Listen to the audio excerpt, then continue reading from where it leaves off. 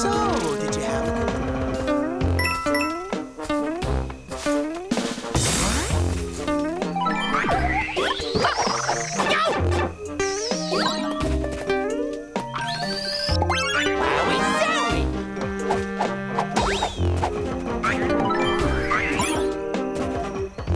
Thank you.